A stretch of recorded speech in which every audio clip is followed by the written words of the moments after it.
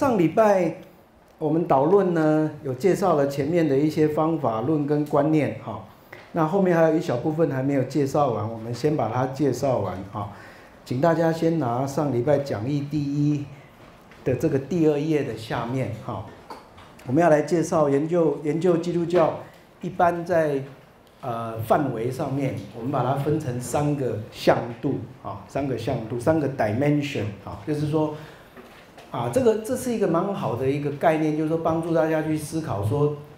啊，其实任何你可以把这个同样的概念应用在其他的宗教也是可以，啊，就是每一个一个宗教团体在一个时代，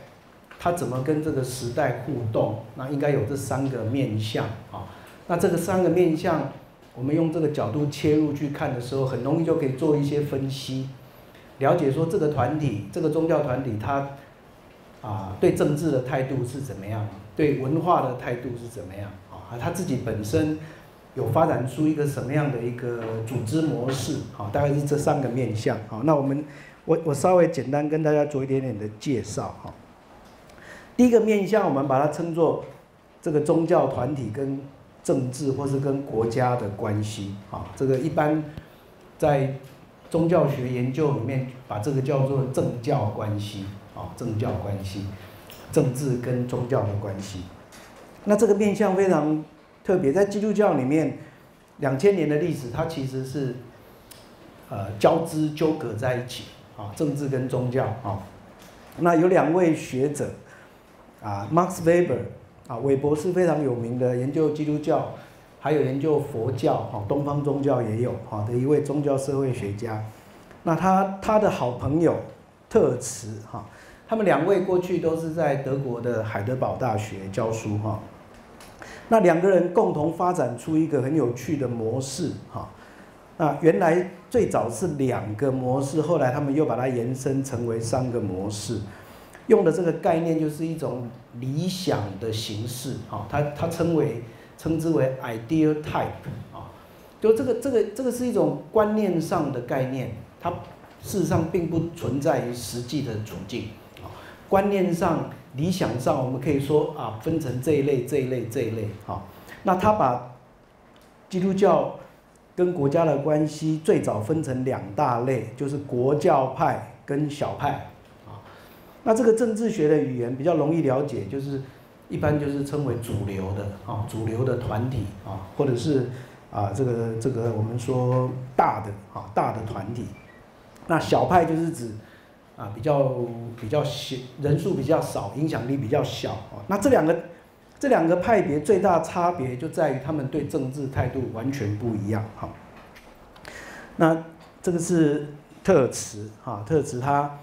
写了一本很有。很很不错的书哈，《基督教社会思想史》哈，如果从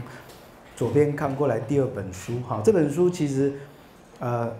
研究了两千年来基督教跟西方主要跟西方社会之间的互动的历史哈。那简单把这两个做一点点的整理来看哈，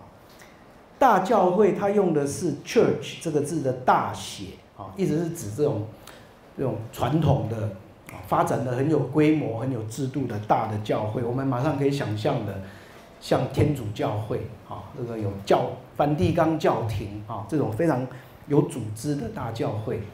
还是像英国国教哈圣公会啊，都属于这种国教会啊。那这个国教派呢，基本上他对国家对政治的态度是采取一种正面开放的态度啊。他为了要主张说这个基督教可以进入世界去含纳越多人越好啊，所以基本上它是开放的，向世界是开放的，他也努力要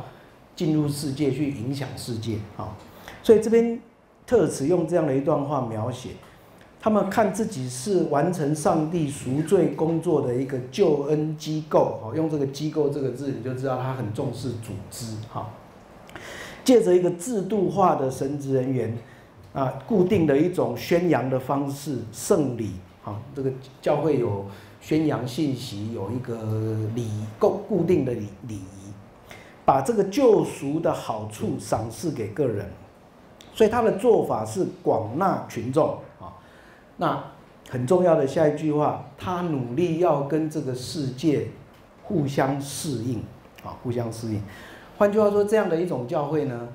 他就会尽量去贴近社会，尽量去跟这个社会能够融合，啊，那希望能够跟国家跟政治能够结合，好。那这种这种教会最明显的例子，其实有机会，如果大家去。呃，有机会将来参观不同国家的教会，美国的教会是最典型的啊。那很很多在别的国家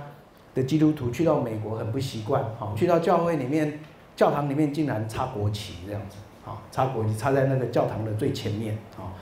那就好像说那个国家的概念跟基督教的概念好像是整合在一起这样子，啊，你想象说礼拜堂前面插两只美国国旗在那里，啊，然后那个。美国国庆日的时候，哈，国庆日的时候是教会里面非常大的庆典，啊，非常大的庆，所以这种国教派很明显，你看得出来，它是基督教跟国家之间有一种合作的，啊，互相调试的关系，啊，那相对的小派就不一样了，啊，小派呢，它完全是一个相反的概念，他认为教会是由这个世界里面把人。拉出来，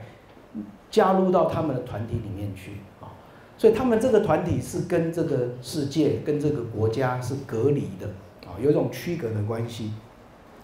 这样的小派通常对信仰的要求很严格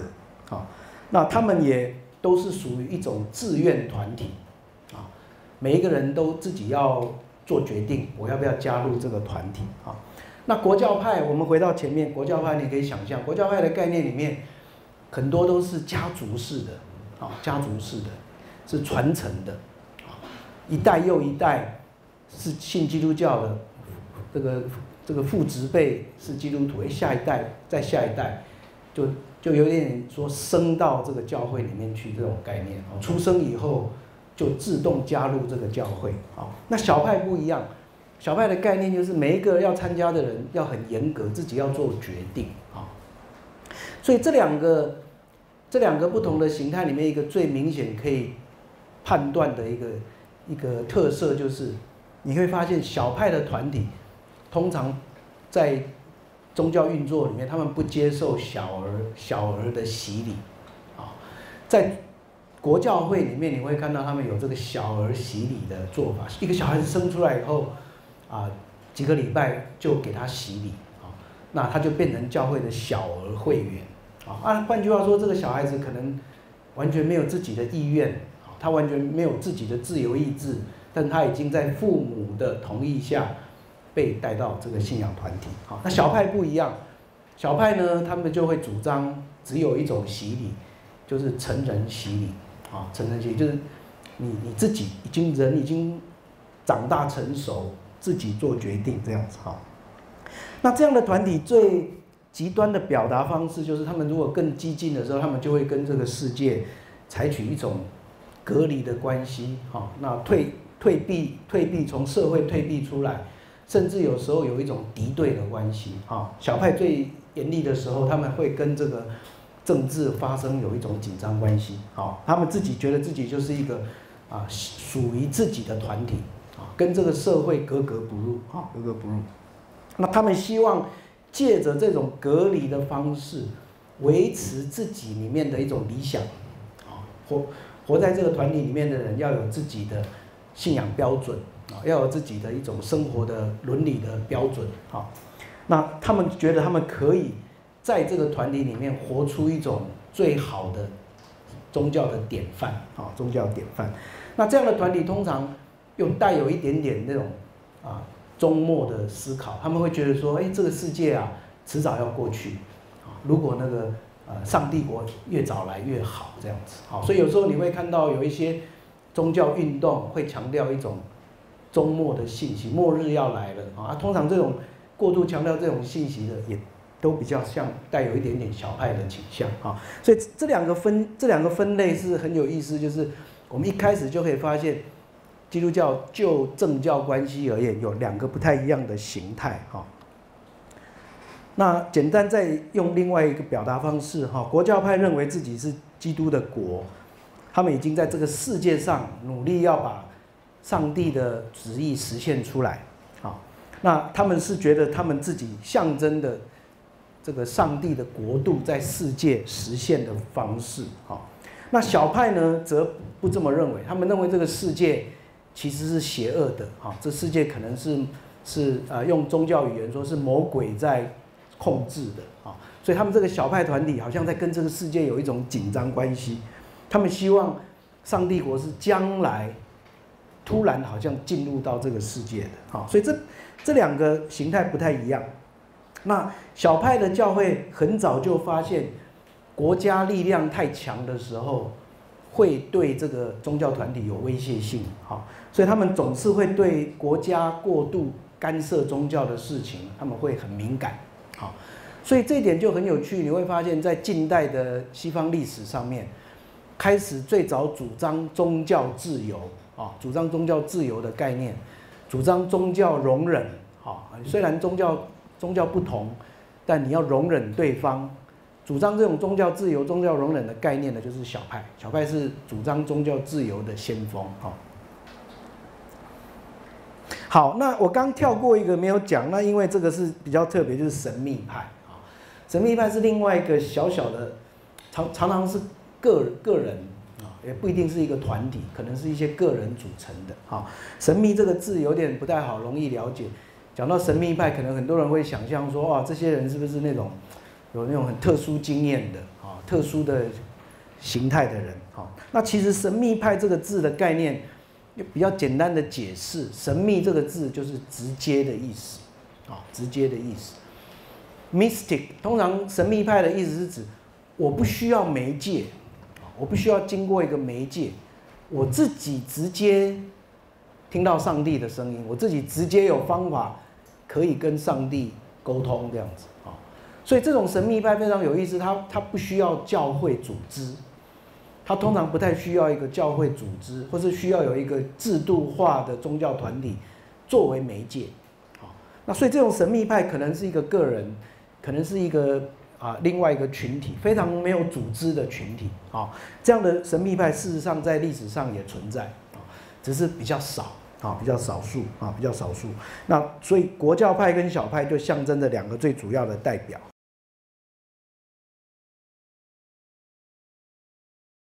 第二个面向要跟大家介绍就是基督教跟文化的关系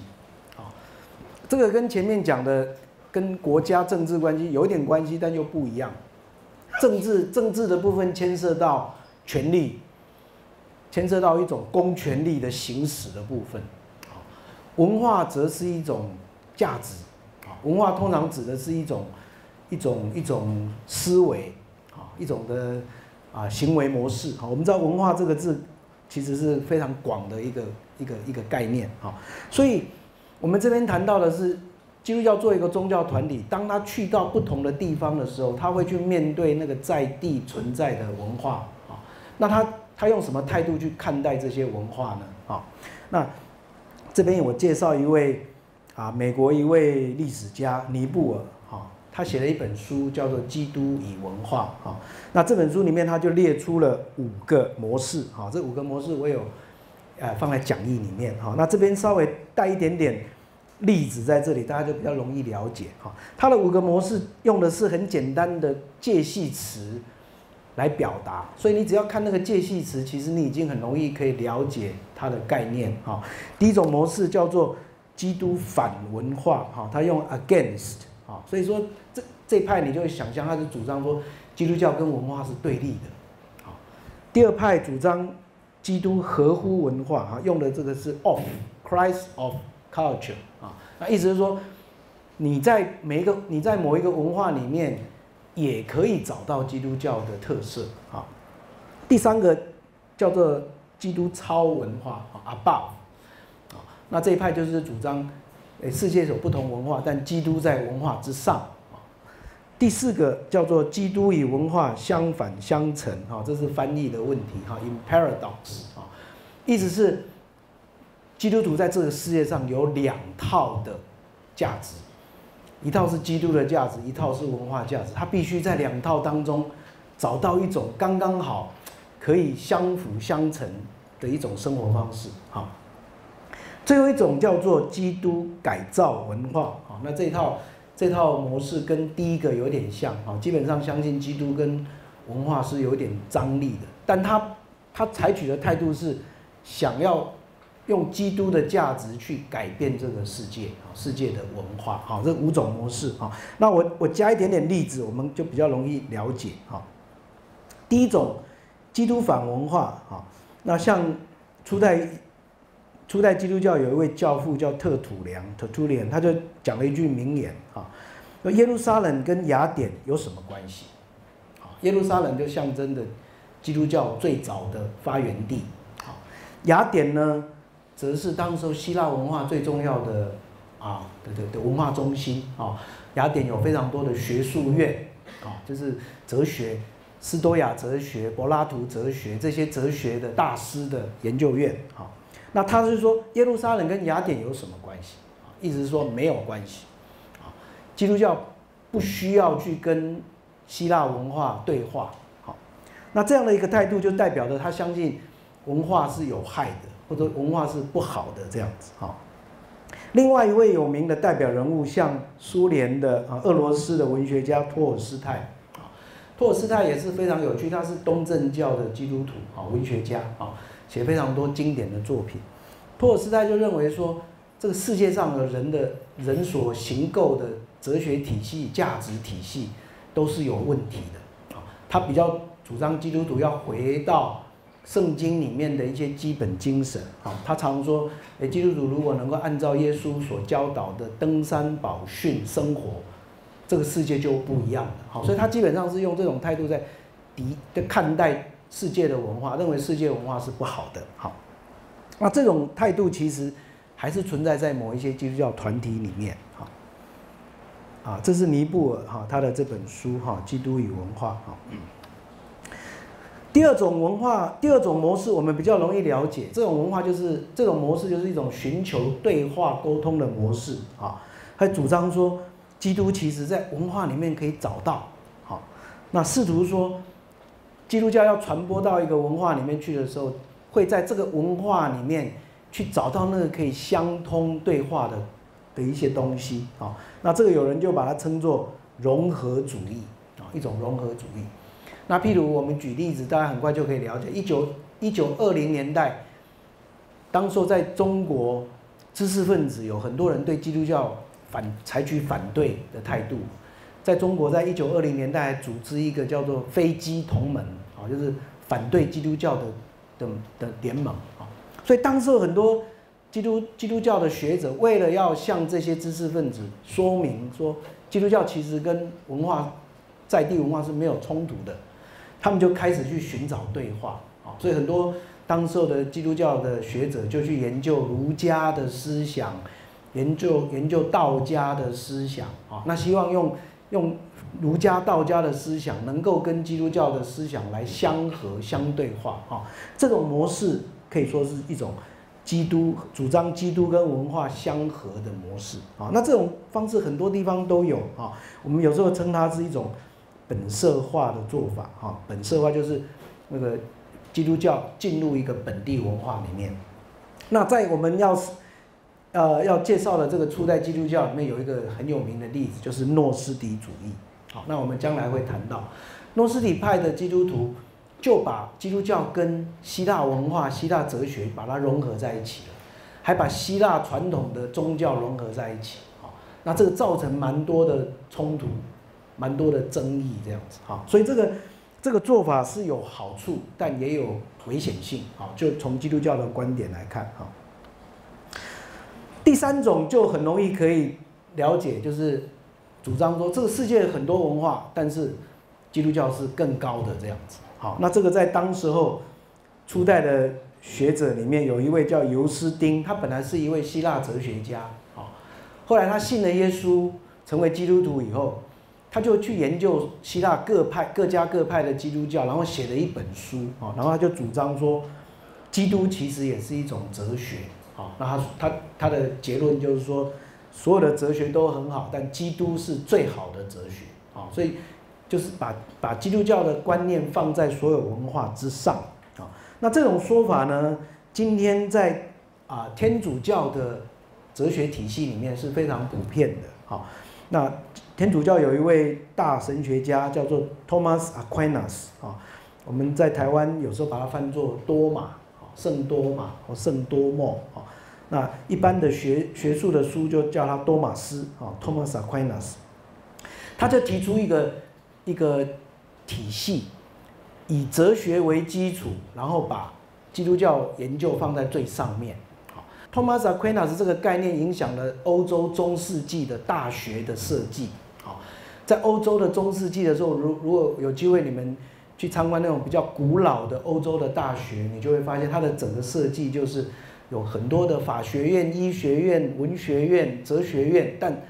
最最高的那个山丘上面会有一个神学院，啊，所以它的概念就是说，所有的学科都很好，但他们的研究是为了帮助更高的基督教的研究，啊，这个在天主教会的设计里面是这个设计方法，啊，那这个概念背后就是预设的说，相信基督教。的思想是在文化之上。第四个类型是近代发展出来的，这个是很像现代人的思维了啊，你会发现非常有趣啊。那一个代表人物就是十六世纪的宗教改革家马丁路德。马丁路德他知道这个世界本来就有不同的文化，有不同的真理的系统哦，追求真理有不同的系统。宗教这个系统是一个追求真理的系统，但是还有其他的系统。那他觉得。这个世界这两个系统不要把硬要把它凑在一起，好，所以他就提出这个概念。他说，基督徒要学习活在两个国度当中，啊，两种的国度，国度的意思就是两种的体系的当中，好，基督的体系跟世界的体系，好。那换句话说，路德好像在预设说，基督徒可以有的时候是活在基督徒的思想里面。有时候必须要活在世界的体系里面，好，那路德的说法就是说，这个世界其实是一个啊，有时候是靠权力、靠拳头在在比谁大谁小的啊。那基督徒活在这个世界上，也必须去适应这个世界的模式，但另一方面，在基督教团体里面，则可以活出一种基督的价值。好，那他没有试图要去结合结合两个。让它各自存在这样子，好，所以路德常常问一个很有趣的问题，他说：基督徒当基督徒，但你在世界上要有一个职业，好，那那个职业只要是好的，都是都是可以的。任何职业只要对这个世界有贡献，你就好好的做一个世界的公民。但另一方面，你还有另外一个身份，就是基督徒身份。好，那有人就问他一个问题，说：那基督徒？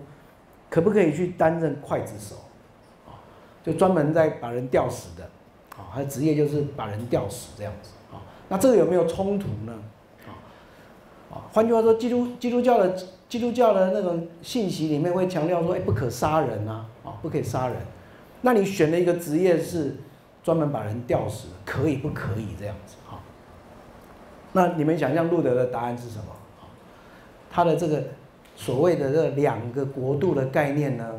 你可以想想他的答案是当然是正面的哈。他说可以，啊可以。基督徒你一方面你有基督徒的身份，但是你有一个世界公民的身份。那在世界公民身份里面，你就好好把你的角色扮演好啊。你在当刽子手把人吊死的时候，你是在维持世界的秩序这样子，好，那也是一个一个工作，你的职业，你的职业，好。所以这个就发展出当现代的职业观跟基督教的一种整合的模式，哈。那这个很有趣，就是我说这这个观念非常现代，主要就是我们看到今天这个时代啊，确实哦，现代基督徒啊也面对这样的挑战，啊。还有他周间有一个工作，那那周日礼拜天他去教会聚会，好，好像活在两个世界里面，这两个世界会不会有冲突？应该是会有，啊。那特别是现在。很多在这种职场、在商场工作的人啊，所以有一句基督徒企业家常常讲一句话说：“你要去上班以前啊，把灵魂留在企业门外这样子。”啊，这一这句话意思是说，你去工作的时候就按照工作的伦理啊啊，那个基基督教价值暂时放在外面这样子，好，好像容许一种两种的两种的行为模式。好，这这这个是路德好像在。十六世纪以后给现代人开展的一条路啊。我们可能站在比较，等一下站在第五种类型的角度，可能会说，哎，这个这样的人好像有点虚伪那样啊，好像生活在一种两套的生活方式里面哈。好，最后一个模式就是叫做基督改造文化啊。那这一派的人，你可以想想想象，他就是一种入世派的一种改革派的基督徒啊。他主张说，今天基督教如果认为自己的所相信的价值跟思想是最好的，他就应该努力去改变这个世界，让这个世界向接近基督教的理想这样子啊。那这个在初代基督教的像奥古斯丁，像宗教改革时代的加尔文哈，我们以前的历史课本有时候翻作克尔文啊，就在就代表这样的思想啊。他相信基督徒的责任就是把基督教的价值带到世界里面，甚至去改变世界好。所以这个思想你可以看到，在十六世纪、十七、十八世纪的时候，在加尔文派里面很明显表现这个好，加尔文派的基督徒啊。会去进行经济改革，会去进行政治改革，啊，会去进行一种各式各样的那种改革的工作，哈，政治民主化的改革，都是都是把这个这种基督改造文化的思的想法带进来，哈，带进来，哈。那这样的想法当然很很明显的，它是它会造成宗教团体跟世界中间有一种张力，甚至有冲突，啊。那如果如果你活在活在一个这样的基督徒统治的社会里面，如果你不是基督徒，你当然会觉得很痛苦啊，因为他他会想要把一套的标准应用在所有人身上。好，我们今天活在活在二十二十一世纪，我们今天常常说政教分离的社会啊，政教分离的社会里面，这种好像一种政教要在整合在一起的想法，当然也是有挑战性的啊。那我只是把这个不同的模式跟大家做一个简单的介绍，好，好，我们很快介绍最后一个层面，好，最后层面如果翻到讲义的第三页，啊，除了基督教跟政治的关系，基督教跟文化的关系以外，我们研究基督教的发展，还有第三个很有趣的一个面向，就是自身的一个发展模式，好，那这个有一个很有很有名的中世纪的历史家 Russell。他提出一个理论叫做钟摆理论，啊，那钟摆理论就当然就是象征的有两个轴会这样子不断的摆荡，啊，他所提出来的两个轴，一个叫做 order，啊，秩序，那这边的轴它把它叫做 prophecy，啊，prophecy 当然翻作先知，啊，那也可以，它其实背后呃蕴含的意思是是一种运动，啊，一种一种灵灵性的运动的概念啊。那这个这个概念是蛮有意思的，你会发现所有的宗教团体都一样，一开始是是一种心灵的运动，是一种一种一种社会的改改变的运动啊。可是不久以后，它发展出组织制度啊。那这个组织制度发展越发展越繁繁杂，越权力结构越强的时候，它往往会忘了它原来的那个运动的精神，好。所以这这两个所谓的摆荡的概念，就是在这个地方啊。基督教的历史发展，你很清楚看到这样的一个摆荡的现象。一开始的时候，它总是有一个很有理想性的宗教运动，但不久组织化了，跟权力、跟财富有一点点结合以后，哎，它开始会腐化，会腐化，会出问题，那就会摆回来，摆回来变成一种先知性的改革运动。那先知性的改革运动呢，可能让这个宗教团体有了一点点的啊，重新的恢复原始精神，但不久以后又会再落入结构性的、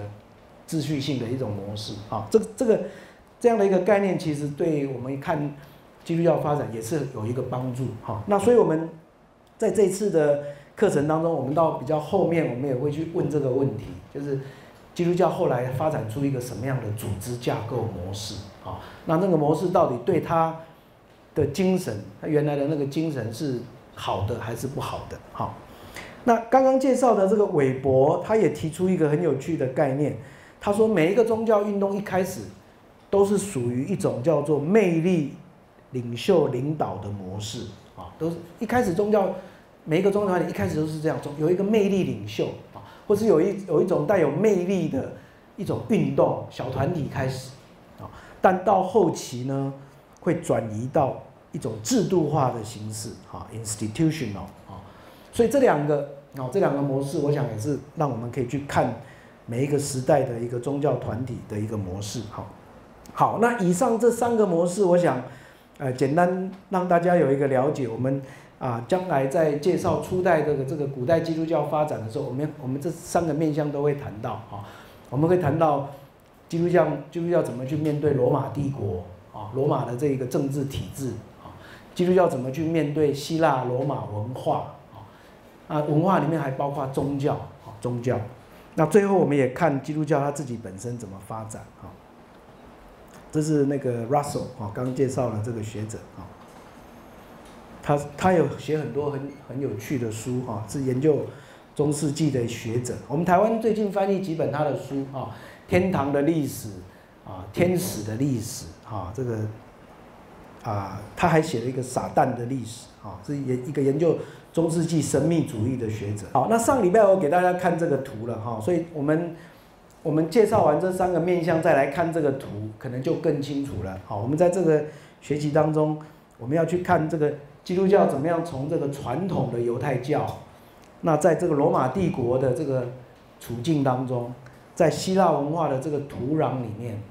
发展出一个新的宗教出来，就是古代的基督教。好，那另一方面，犹太教在这个同时候，犹太教本身也经历了一个变革。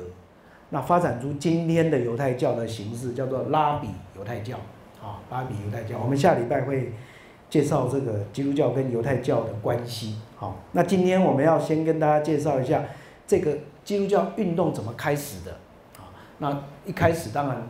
啊，就是跟耶稣这个人，还有他所发动的耶稣运动啊有关系。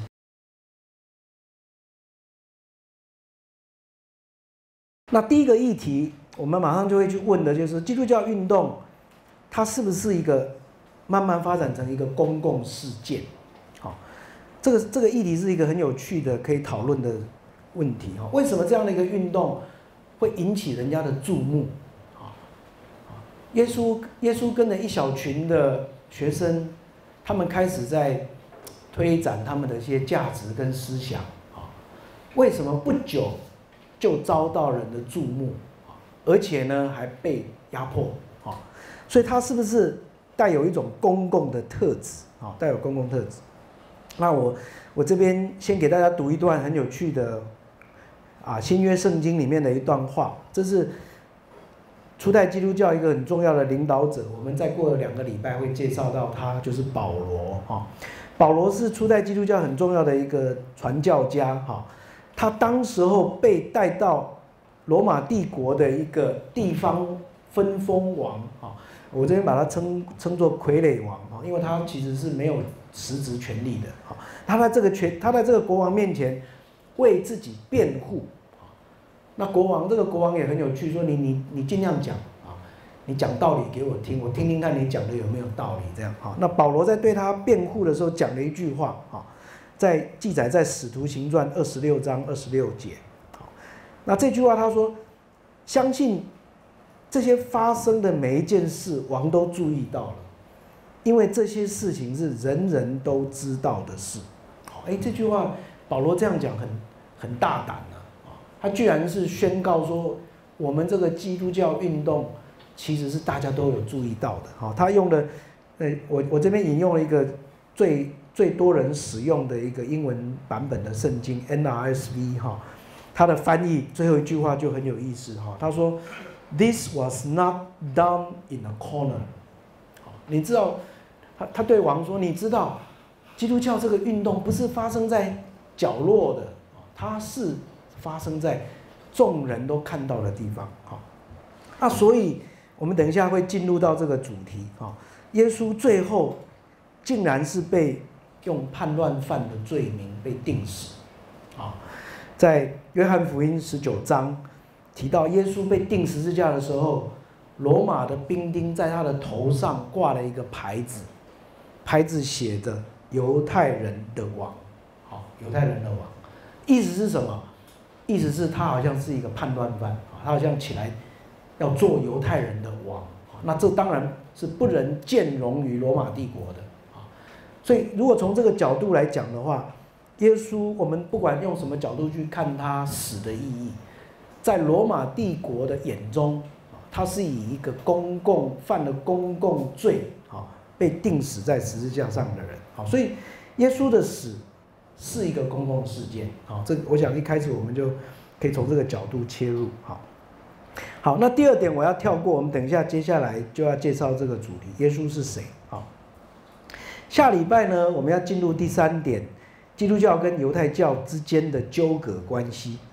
好，基督教这个团体一开始被人家看作是犹太教里面的一个支派，几乎分不出来，因为最早的。最早的耶稣运动里面的成员都是犹太人，耶稣也是犹太人，他的学生也都是犹太人，所以他们好像是犹太宗教里面的一个小分支，一个小运动。好，到了什么时候，他们开始发展出自己的一个身份认同，新的身份认同。我不是犹太教徒，我是一个新的宗教徒。好，后来这个名字叫做基督徒，这个名字就出现了。所以这个过程当中，你可以明显看到有一个分离的过程，基督教从犹太教教当中分离出来，好，那这个分离出来却很不幸的产生了一种爱恨交织的关系、纠葛的关系，好，以至于到没有多久以后，犹太人跟基督教中间的关系非常的不好，啊，非常的不好，啊，那后来后来当基督教拥有权力的时候，犹太人就成为受害者，啊，这个在历史上很有名，被称为反犹太主义，啊，反闪族主义，好，那这个我们将来上课的时候会顺便带大家了解一下这样的一段历史，啊，历史。所以宗教跟宗教中间这种一种互相包容的精神，这个是现代的概念，好，人类历史上。对宗教互相能够容忍包容的历史只有两百年而已，好，只有两百年，啊，十十十八世纪才有的，好，但是我们看到在这个啊初代的时候，犹太教跟基基督教中间就产生了一个非常微妙的纠葛的关系，好，好，第四点，那基督教开始要扩展的时候，它必须要宣扬一个啊超越它原来犹太宗教的那个这样的一个道理。啊，一个传扬的道理啊，那很多历史学家把把基督教这样的一个概念，把它称作一个开放的道啊。开放的道的意思是什么？就是耶稣他很明显的，他所传扬的信息不同于传统的犹太宗教。传统的犹太宗教似乎把犹太人这个民族看作是一个独特的民族，但耶稣却打破这种族群中心的主义。他要他带来一种开放性的概念，任何人、任何族群、任何社会背景的人，都可以来成为上帝的子民。好，所以这个基督教一开始就给人有一种很有趣的概念，它是一个 inclusive，它是一种包容性的一个信息。啊，所以很快的基督教会快速发展，跟这个有关系。妇女、非犹太人、少数民族啊。外邦族群，他们都来接近这个信仰团体，好，所以它本身这个开放性是一个基督教值得注意的特质。第五个主题啊，跟我们刚刚介绍的那个面向第二个面向有关系啊。那基督教怎么样子来使用语言跟文化来表达它的信息？好，我们刚我们光想象这个语言的翻译就马上可以理解了啊。那最早的基督徒都是犹太人，他们可能讲的是希伯来文，讲的是亚兰文，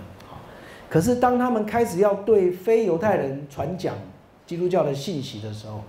他就必须要开始使用希腊文，希腊人的思维模式，希腊人的哲学概念，好。所以在这个过程当中，我们看到信仰跟在地文化就有了一个非常微妙的关系，啊。那我们看到在当时候，啊。这些所谓的早期的基督教思想家，就会开始去运用希腊的哲学概念、不同的学派的概念，试着要来传达基督教啊，甚至会借用对方哲学体系里面的一些观念来传达基督教啊。这个很明显的发展出一种基督教跟文化之间的互动关系。好，好，我们翻到最后一页，第六点，这是一个比较微妙的地方。文化本来是中性的，我们可以这样讲，文化是中性的。你要你要借用一个新的语言来传达，这是我们叫做翻译，好，或者叫做沟通哦，communication 啊。那沟通跟沟通跟这个翻译是一个用使用一个中性的语言啊。可是文化里面也有宗教的成分在里面，那。当基督教要传达它的宗宗教理念对这个希腊罗马人的时候，希腊罗马本身的文化里面就已经存在着某一些宗教传统，这中间就会开始产生张力啊。那我们在第六个第六个主题里面会发现，在罗马的世界里面有两两个很明显的宗教系统，一个是国家的宗教，一个是民间的宗教。好，我这边简单介绍这两个。哈。国家宗教跟罗马的政治运作有关系。我们上礼拜看了一个短短的影片，看到那个罗马的统治者为了要建造一种人民对他的向心力，他用尽各种方法，啊，他用竞技场的活动让人认同罗马，对罗马的这种啊国家的权力有一种认同，啊，那其中也包括宗教，啊，那换句话说，罗马帝国发展出一种。皇帝崇拜的宗教，国家崇拜的一种信仰。好，那这个很有意思的是，没有多久，他就跟基督教团体发生冲突。好，那我们将来会分析基督教为什么会被罗马帝国压迫，主要也是这个原因。好，因为他不愿意去认同一个罗马的国家宗教。好，那另一方面，我后面的部分介绍的是民间的宗教。好。在罗马帝国统治底下，有非常多的民间的这种信仰团体啊。我这边在最后面几行有介绍比较有名的几个哈，譬如在罗马帝国里面，埃及的女神这个 Isis 啊，生殖女神是一个非常受欢迎的啊。我们可以想象，这个跟生殖有关系的宗教传统都是非常重要的啊。在我们台湾民间宗教里面啊，就好像土地公这样子的。好，一个非常跟跟生产，包括啊这个生育，包括土地的丰饶有关系的这样的一个一个宗教。哈，希腊有酒神的宗教，还有一个医神的团体等等。我举这几个例子。所以在希腊罗马社会里面，原来就存在着，原来就存在着啊不同的地方性的宗教。啊。那这个宗教团体其实基督教在跟他们互动关系当中，就不像不像是跟国家是直接冲突的，很多时候他是借着跟这些宗教互动当中，去吸引其他的宗教徒来接受这个基督教，啊，所以这中间就有一种心灵的、心灵的渴慕的关系了，啊，对宗教有兴趣的人，通常比较容易接受一个新的宗教。你你对一个完全没有宗教意识的人要介绍宗教，跟一个本来就已经有宗教意识的人来介绍，这这两个是不一样的哈。所以有很多历史学家认为，这个罗马社会里面存在的这种传统民间宗教，其实有助于基督教的传播哈。那这个我们将来大家在读这个史塔克的那本书里里面的时候，它里面也特别谈到这一部分哈。好，最后一个小点，第七点，我们刚刚已经提到了，基督教到底怎么发展出它的组织架构、领导模式？好，这个我们到学期最后的时候会介绍这个部分。好，那我有一个小小的结论，在第八小点，很多那个在基督教的团体里面的教会团体，常常有一种迷失啊，有一种迷失，就是认为说初代的基督教是最好的，啊，最好的。那有的人把它称作是基督教历史上的黄金时代，那这个说法到底有没有道有没有道理？好，这种说法是不是有道理的？换句话说，是不是说因为最早的基督教团体比较接近那个原始的发展的时代，所以他就比较理想性啊，他的那种宗教精神就比较强。好，那事实上，啊，我我自己做一个历史研究者啊，对这样的说法是质疑的啊，质疑的。意思就是说，我们今天回去看每一个时代的宗教团体的历史是一样的，都面对同样的挑战，也有同样的人性的回应，这样子哈。所以今天有一些教会，你会发现非常有趣，他们很喜欢把这个这样的名字挂在教会名字上面哈。他称自己是新约教会啊、使徒教会啊，或者说是复原派的教会。这种讲法是有一种它的正面性啊，要强调说我们这个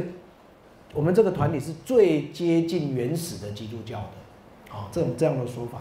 但事实上，我们这个学期大家。上过这样的对基督教初代的历史的研究之后，我相信大家就会慢慢发现啊啊，只要是以人所组成的团体，不管在什么样的时代啊，都会有同样的问题跟同样的挑战。好，但是研究初代基督教对我们而言，它有一个一种原始的样貌哦，很值得我们重新去从这个角度去看。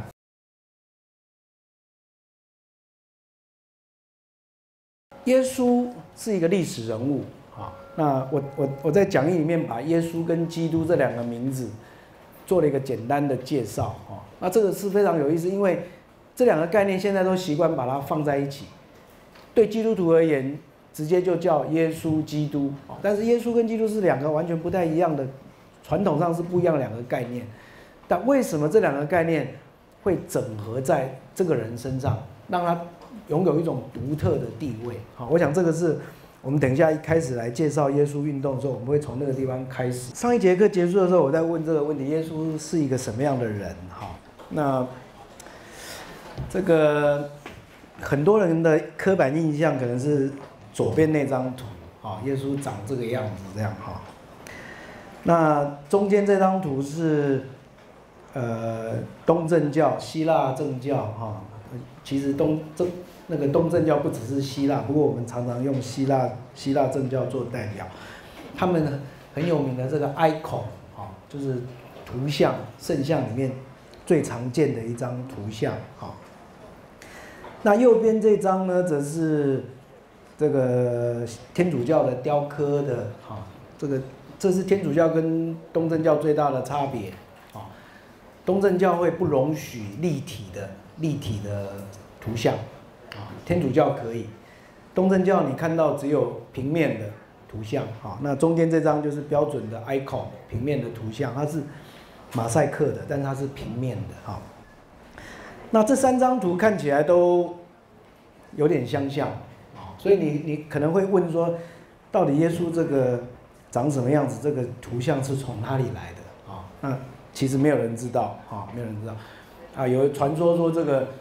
最早的这类似像这样的像是中世纪的时候才开始出现的，哈。那很有趣，这个英国广播公司 BBC 啊，啊，做了一个这个呃研究，哈，很有趣，就是说，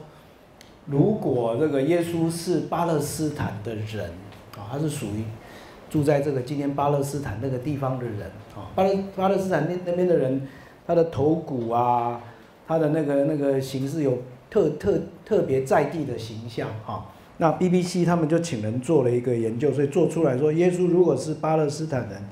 应该是长这个样子，这样子啊，应该是长这个样，比较像这样才对，这样啊。所以这个问题就很有趣了，到底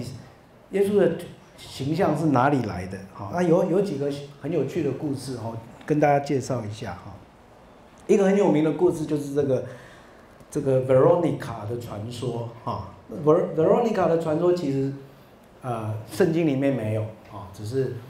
初代基督教的一些传说哈。那个传说故事是这样说的：，这耶稣要被带到十十钉十字架的那个路上啊，那他曾经喊说：“我渴了啊！”所以当时有一个女孩子叫做 Veronica，就拿水来给他喝。而且呢，拿了一条毛巾给他擦脸，这样子啊。那这个传说就是说，擦完脸以后怎样，耶稣的那个图像就留在这个手帕上面。好，所以你看右边这张哎，左边这张图是非常有名的一张画像，哈，你可以看到，我不知道你们看得见看不见哈。那女孩子手上的那个手机上面已经有一个图像在上面了。这个传统后来就发展出艺术史上常见的右边这样子的图，哈，就是一个在手巾上面的，在一个帕子上面的耶稣的图像，哈，这非常的多，哈，像这样的艺术史上的表达，哈，这是 Veronica 手上拿的一张有耶稣的图像，你看这个图像就很有趣。跟我们刚刚看到的传统的图像就不太一样了哈。左边那张特别，你可以感觉到它有点比较像这个东方的味道哈。耶稣如果严格讲是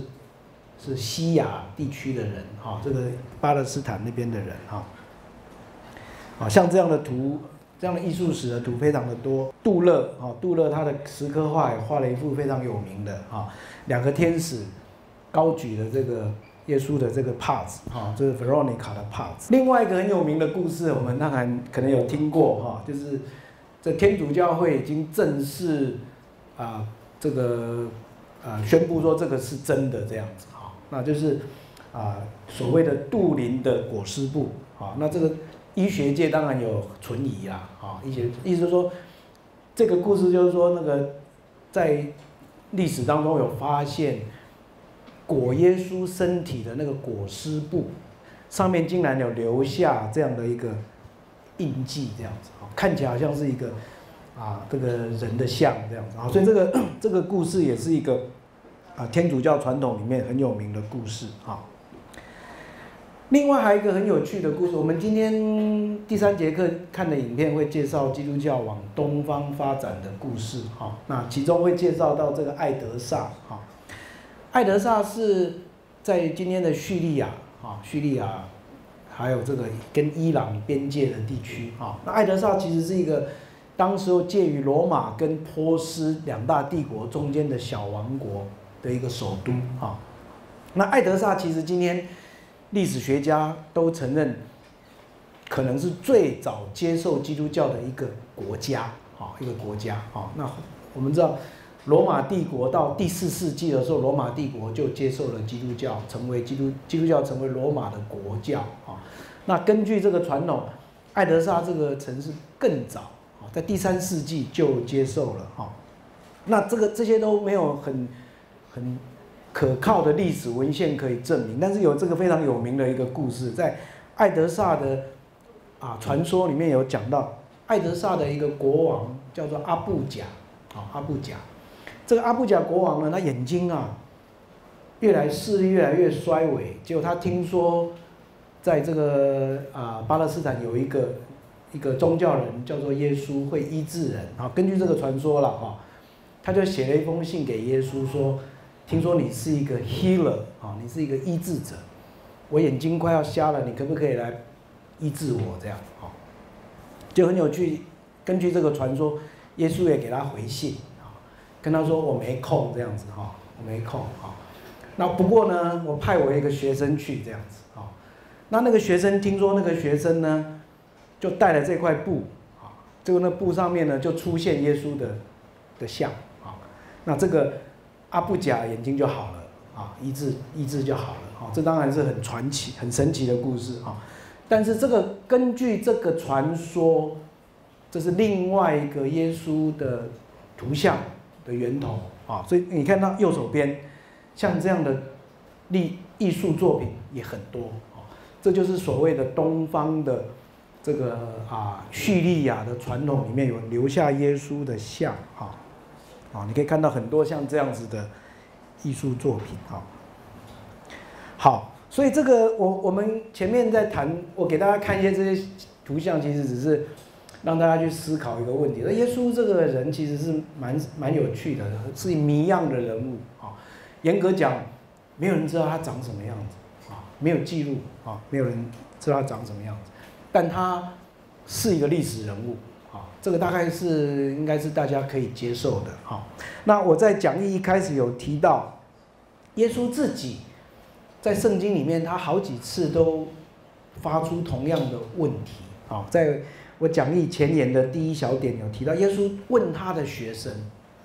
啊，问他学生说：“你们你们说我是谁？”啊，你们知道我是谁吗？啊，那学生就开始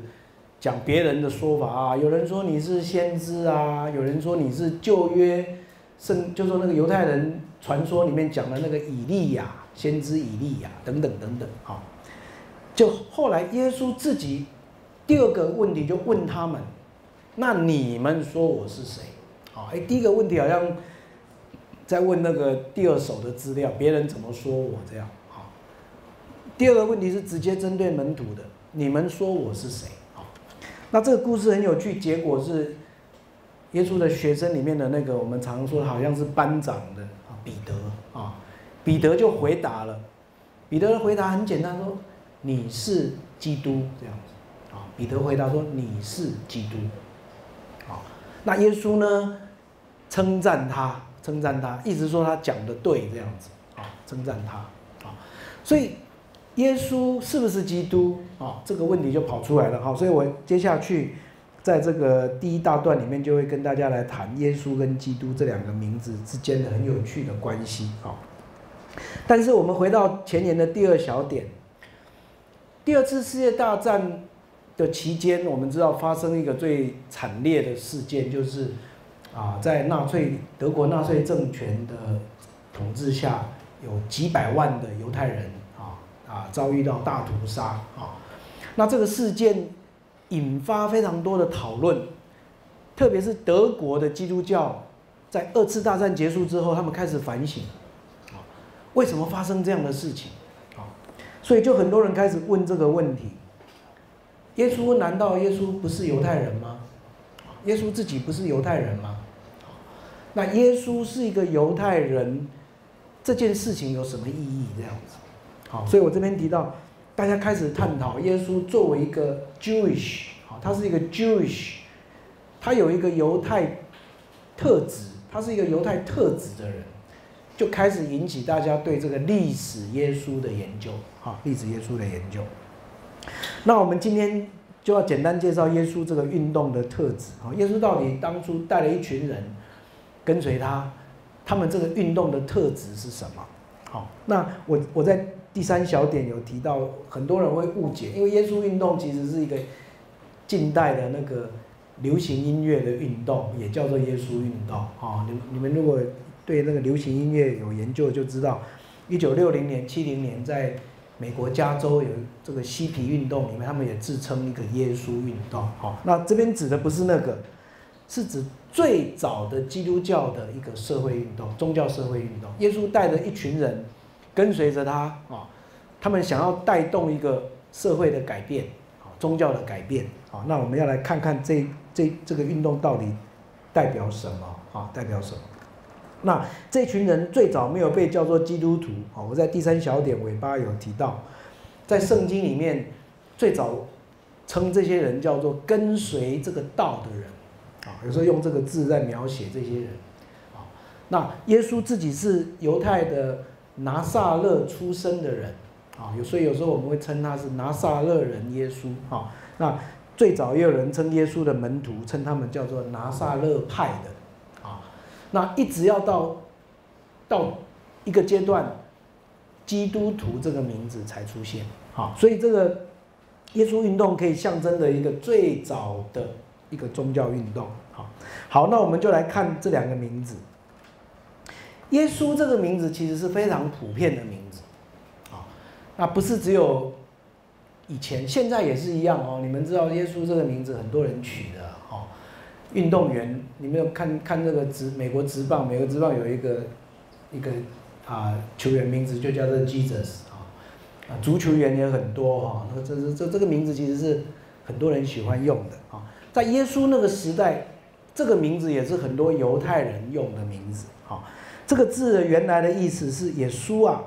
耶稣啊”的意思是什么？是宽阔的地方，啊，宽阔的地方啊，所以这个字是很美的名字啊。它在犹太人的犹太人的经典里面常常出现。那个你们若有读过旧约经典里面非常美的文学，就是诗篇啊。诗篇里面常常有这个表达方式。犹太人在诗篇里面写说。上帝在我苦难的时候拯救我，把我放在宽阔之地。宽阔之地就是代表一种象征的概念。上帝让我把我放在一个很安全、很宽宽敞的一个场所，这就是拯救的意思啊。耶稣啊，这个字啊，所以旧约里面名字叫约书亚啦，啊，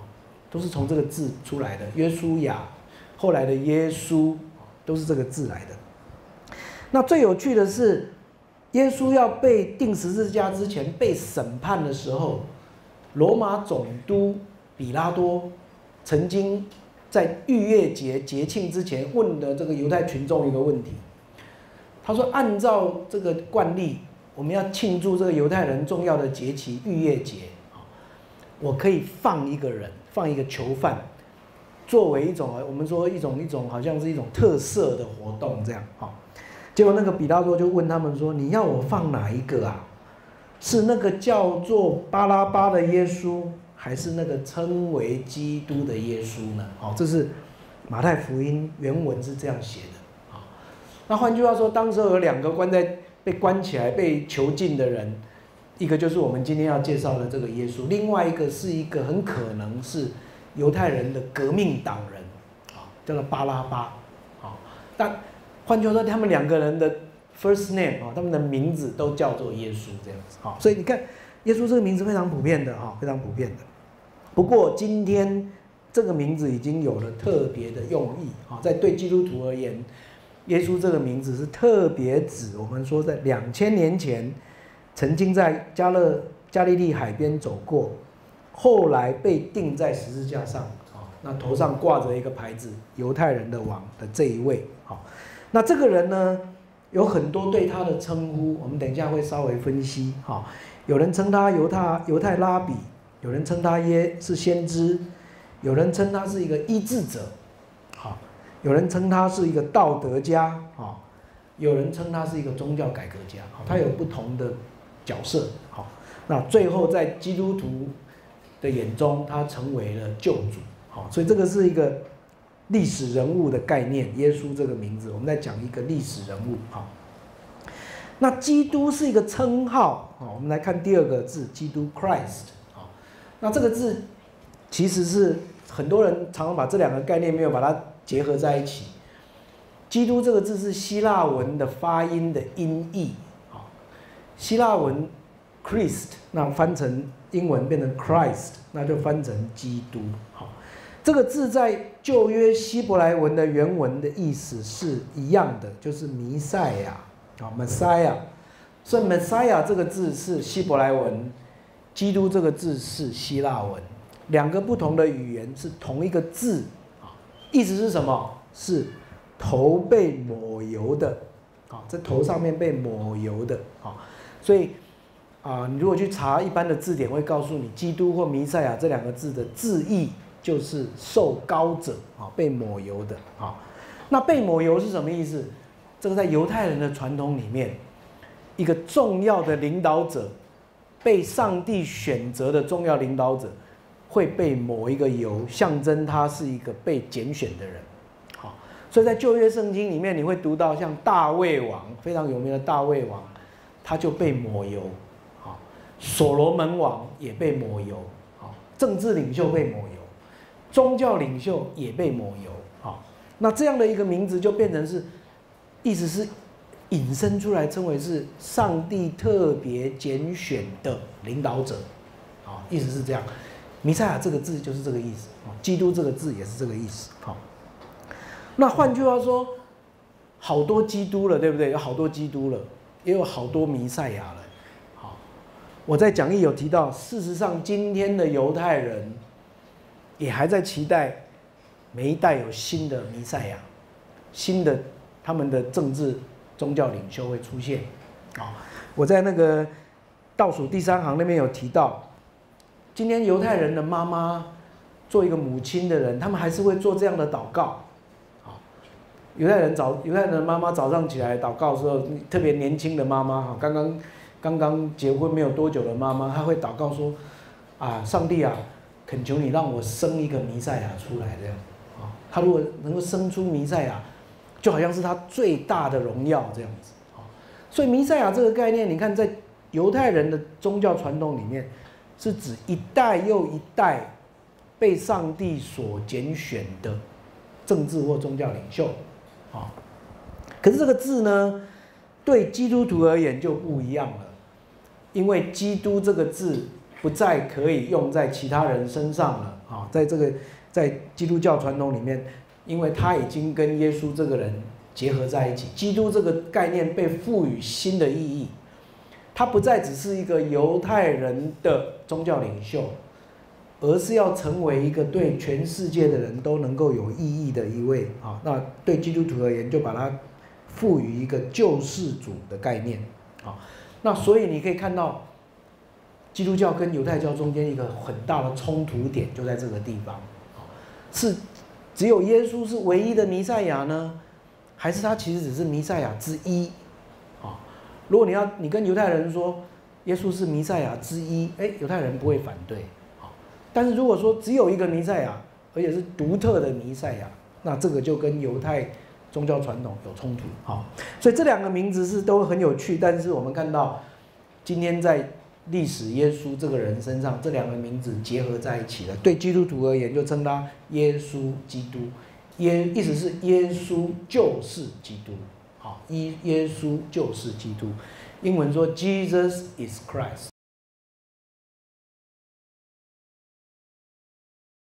在新约圣经里面。有四个名字被用在耶稣身上，好，我们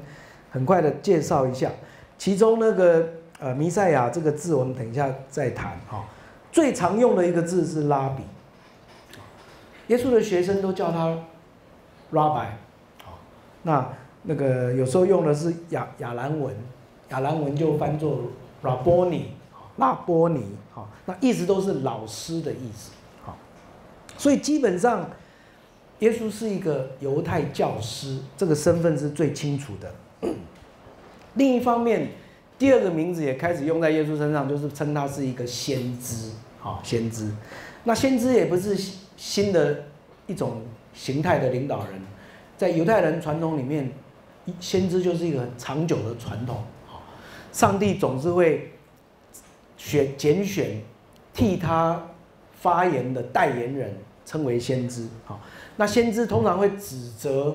社会里面的罪恶跟不公义，好，那先知讲话有特别先知讲话的方法，好，先知讲话的时候都会用特别的语言，譬如他们喜欢说阿门，好，阿门这个字就是实在的意思，好，那所以，哎，耶稣讲话也会这样讲哦，我实实在在告诉你们，啊，这句话就是先知讲话的表达方式，那拉比呢也有拉比的表达方式啊。拉比喜欢讲故事，拉比喜欢讲比喻，啊，所以我们看到耶稣身上，你这两个形象常常出现，一个是老师的形象，一个是好像在讲上帝的代言人的这样的一个形象，好。那第三个名字就是基督，啊，基督就是我们看到犹太人在期待的一个宗教领袖，所以耶稣作为一个新的。宗教改革家也好，宗教领导者也好，被称为弥赛亚，并没有不好的意思，好，但这个字有它的暧昧性，好，因为弥赛亚这个字，在我们下礼拜特别会谈到这个部分，在犹太人的近代历史里面，在耶稣之前的之前的历史里面，弥赛亚这个字已经被赋予了很强的政治意味。通常是被认定为是一个能够带领以色列人来推翻压迫他们的这些族的这些国家的一个代表人物。好，那之前一个被之前一位被这个犹太人称为弥赛亚的一个最有名的一个人物，叫做马加比。好，马加比，我们等一下，哎，下礼拜会再介绍到他。马加比呢？就是在耶稣出生之前一百五十一百七十年左右，曾经率领犹太人推翻希腊的希腊军队的统治的一位政治领袖。好，所以对耶稣而言，弥赛亚这个名字就有了一个很微妙的地方。如果承认自己是弥赛亚，那似乎好像要要去回应人们对他的一个政治期待啊，他要起来带领犹太人来推翻当时候的罗马帝国，哦，是不是这样的一个味道？哦，所以我们看到三个名字是最常用的：拉比、先知、弥赛亚。哦，还有一个名字叫做主，哦，主就是骂，哦，那这个是比较少，但是也有，哦，也有。那我们就来看一下下面这两个名字，哈，拉比很明显的，耶稣是最明显的一个拉比的一个形象，他的演讲，他对学生的教导都是用这种方式，哈，问与答，好，教导是这样子，讲比喻，好，这都是耶稣惯用的方式，好，但有时候他也会用先知的方式来表达，好，那我们给大家看几张图像，啊，这是拉比。啊比较常见的拉比的形象啊，是一个拉比是一位研究希伯来经典的人啊，研究经典，然后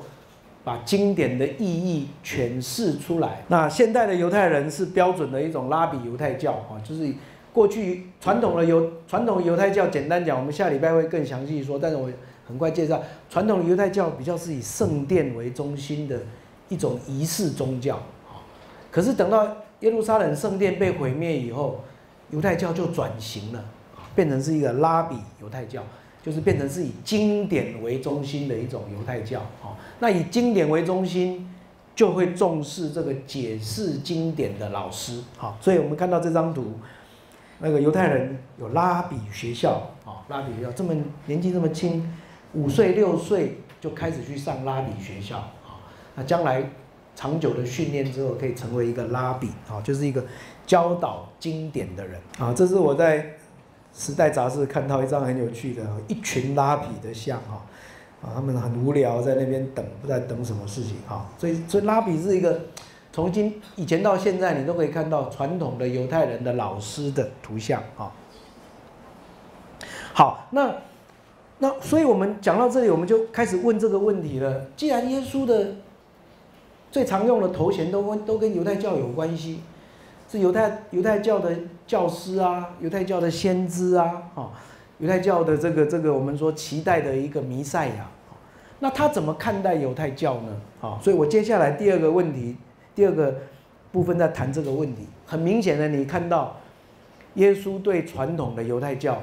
带有一个批判性，啊，批判性。所以我这边提了五点，啊，你可以看出他跟一般的。拉比不一样，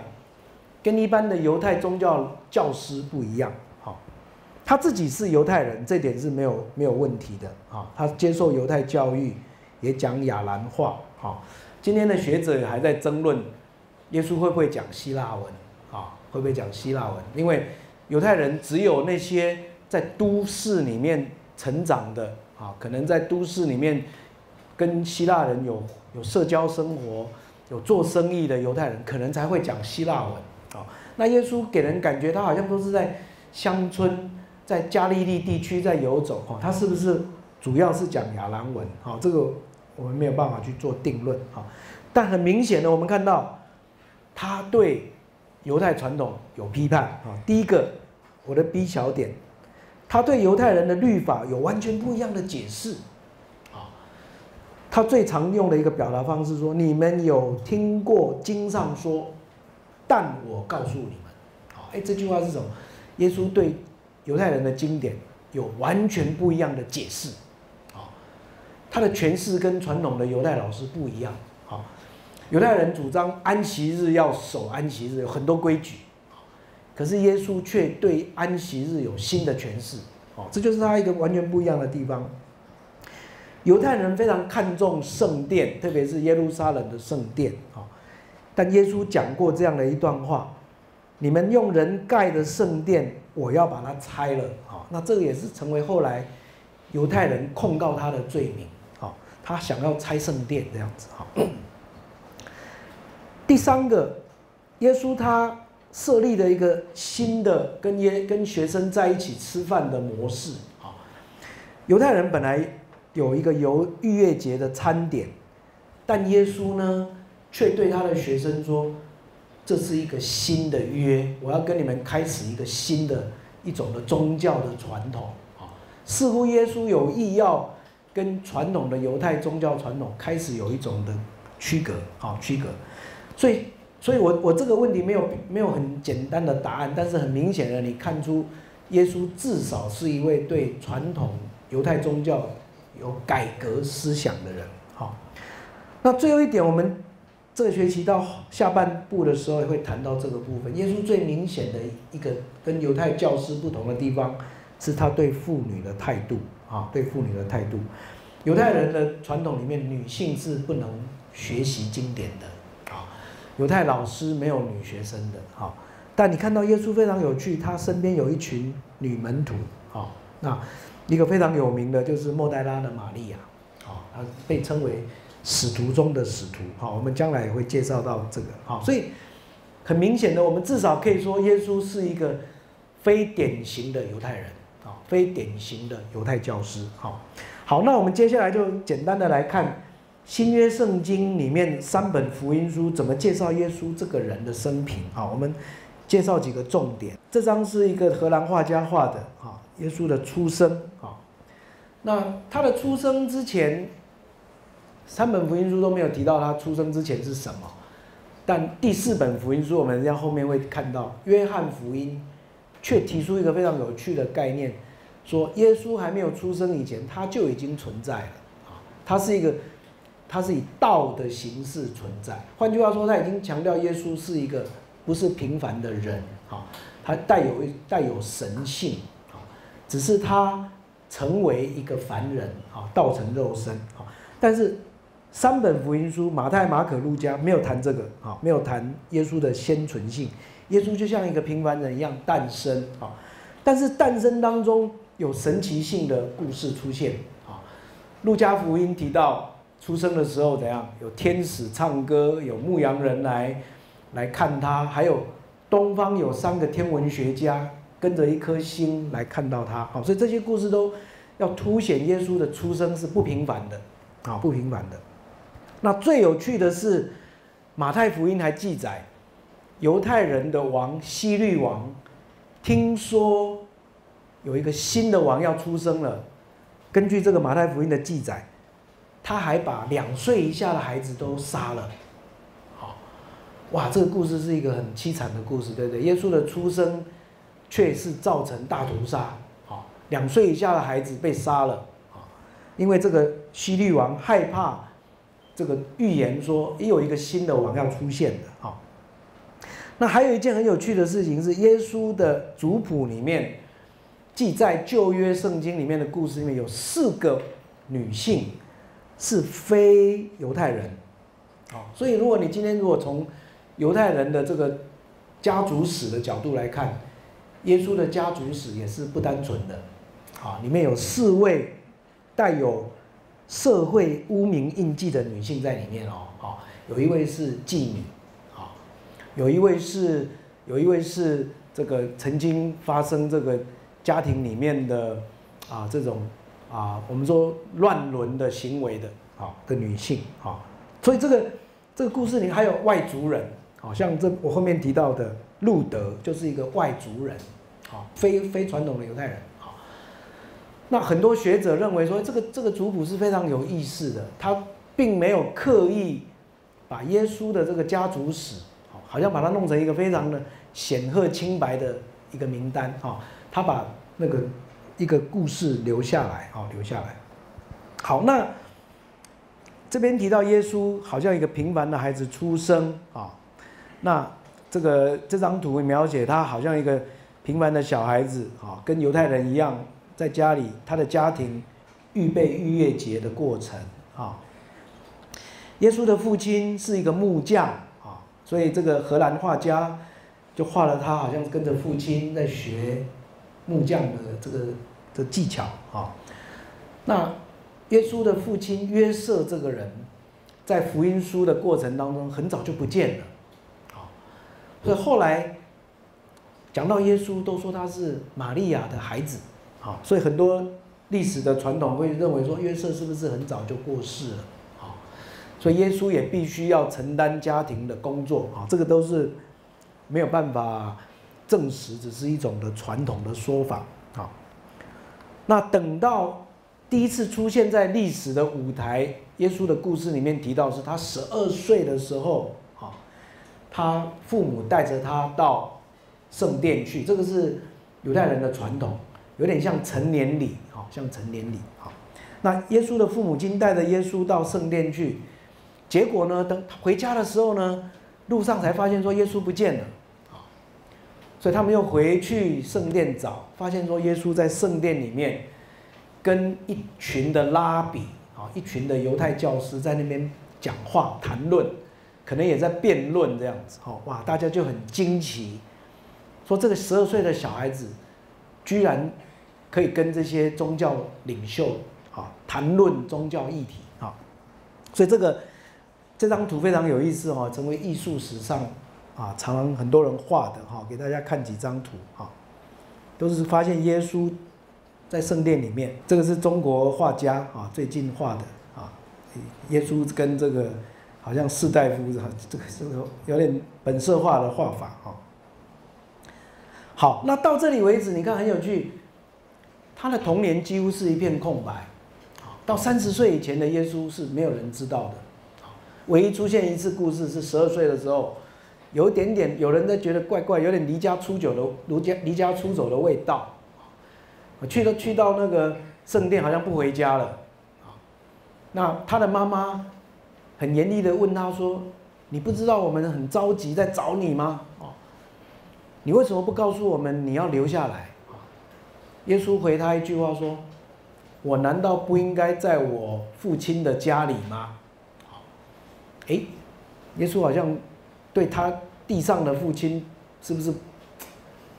不太认同啊？他认同一个天上的父亲啊，他在他在圣殿里面说，我应该在我父的家啊，他那个父指的当然是天上的父啊，所以这是唯一的一个事件，显示耶稣从小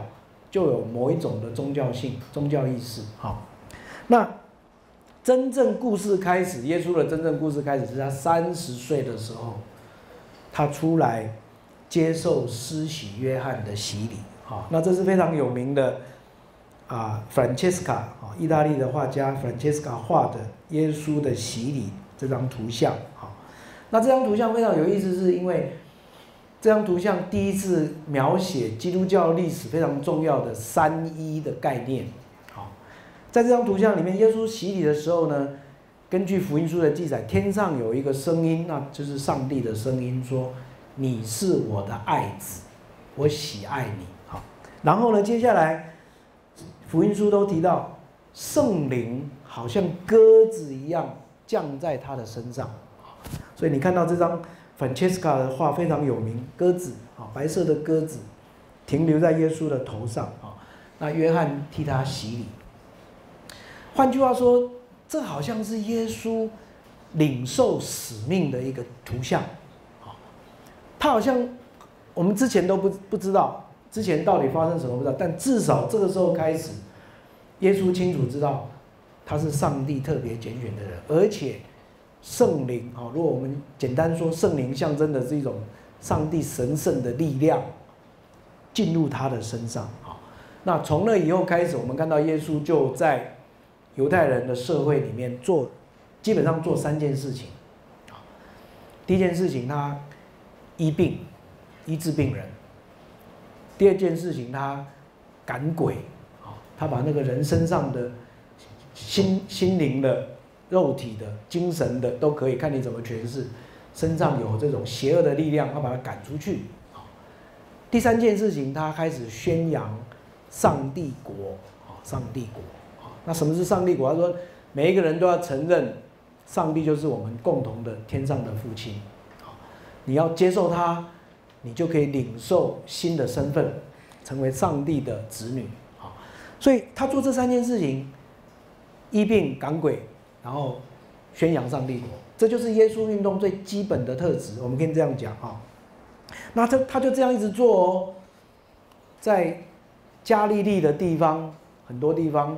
一个沿着这个不同的村村落去宣扬，做同样的事情啊。那。加利利是一个很特别的地方，我在讲义的啊，在第第二页最底下转到第三页的地方有提到啊，加利利是一个犹太社会里面最边缘化的地区。好，犹太人，我们我们这样想象，犹太犹太这个社会，耶路撒冷就好像我们的台北市这样子，啊，是首都，是首善之区，是政治宗教文化的中心。啊，但耶稣在哪里？耶稣可能在嘉义、东石，可能在云林古坑啊，可能在花莲，啊，他就是在那个。呃，偏远的偏远的地区，而且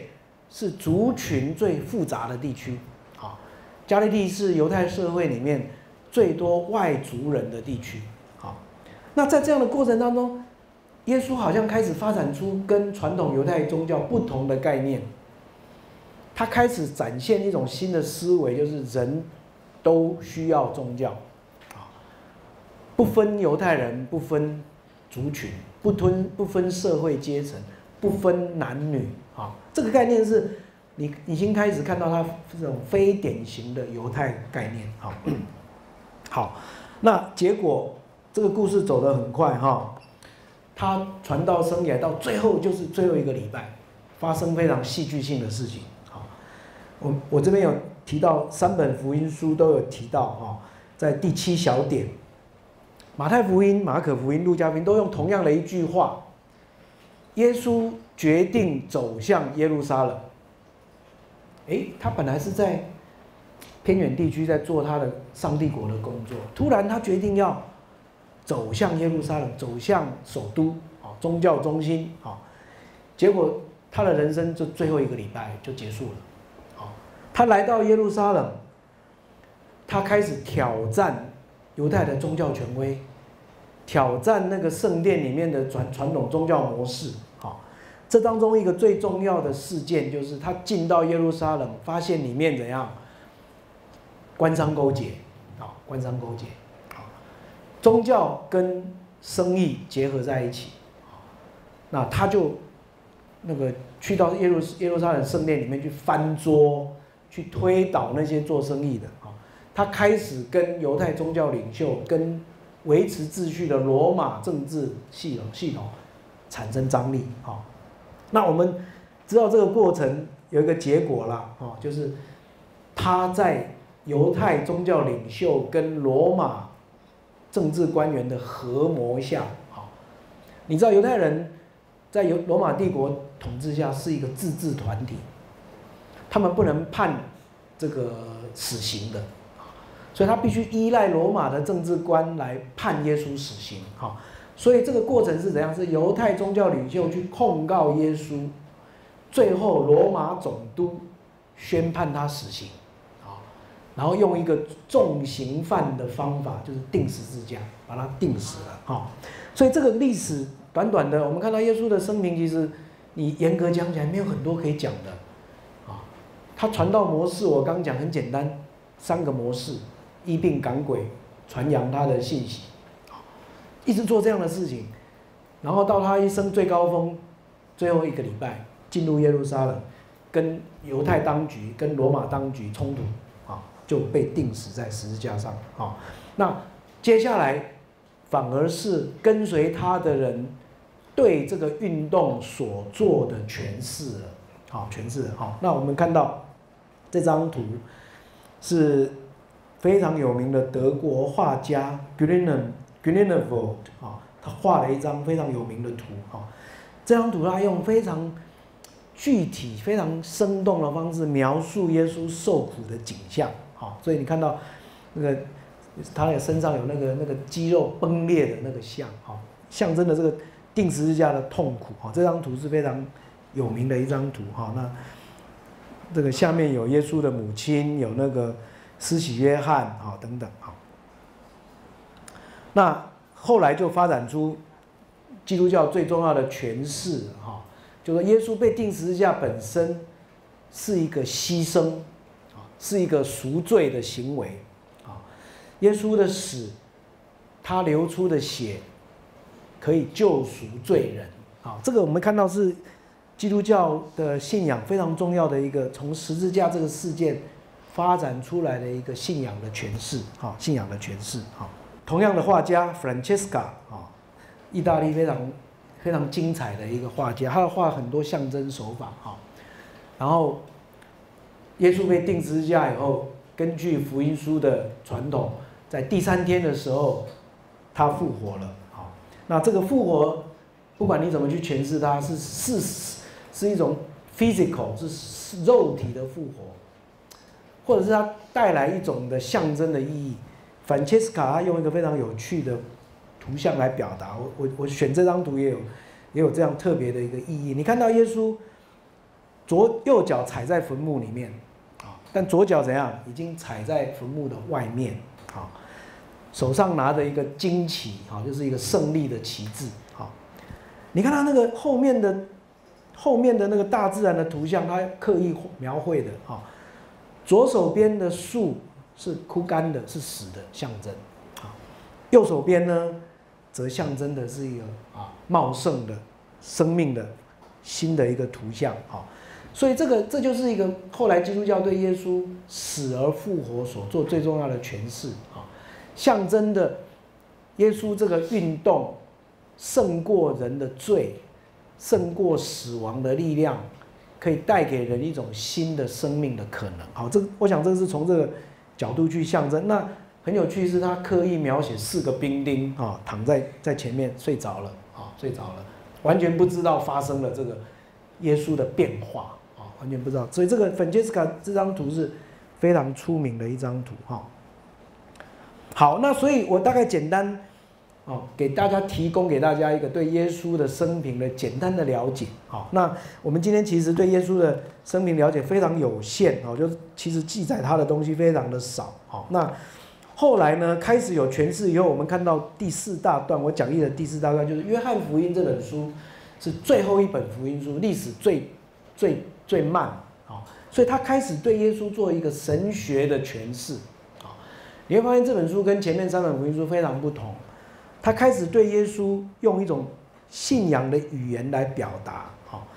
耶稣所做的神迹，所行的神迹，每一个神迹都是有有有意义的，可以诠释的哈。那耶稣自己呢，也对自己多做了一些自我的表达。好，耶稣会说：“我是生命的粮。”啊，在第七点 A 的地方，你可以看到非常有趣，在约翰福音里面，耶稣会这样自我表达：“我是生命的粮，我是世界的光，我是羊的门，我是好牧人，啊，我是复活与生命，我是道路真理生命，我是真葡萄树，等等等等。”啊，这已经是后期的基督教传统所做的诠释了。啊，那我呃。时间到了，但是我很快跟大家最后一个主题很快带一下哈，就是我觉得这个在耶稣的故事里面最能够象征耶稣的这个人的这个运动的特质的，应该是这个啊罗马总督比拉多讲的一句话这样子哈，这句话拉丁文叫做 “H homo” 哈，看呐这个人，好，瞧这个人。